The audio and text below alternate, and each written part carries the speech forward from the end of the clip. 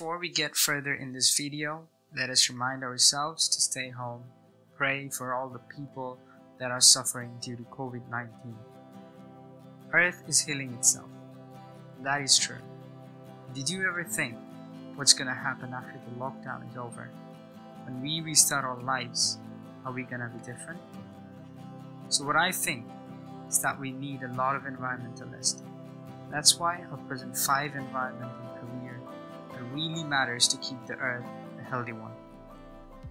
Number one, environmental scientist. This is the base of Earth's safety.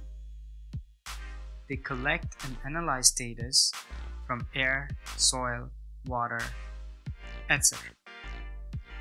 They do this for different organizations and develop strategy for better solution for environmental problems.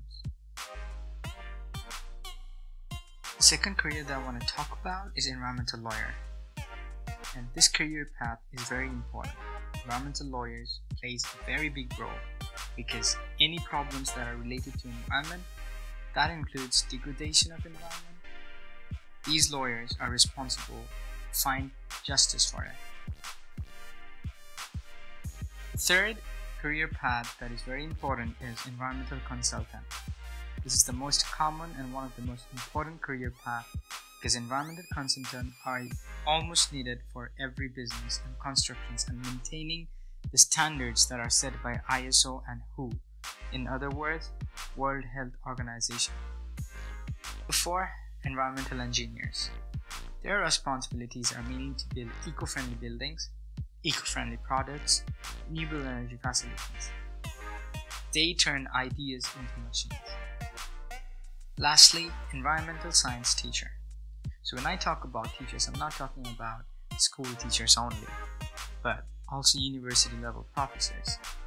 Even though they earn a bit less, which is around $58,000 annually on average, they still are very important as the future generation is in their hands. Well, that's all for today.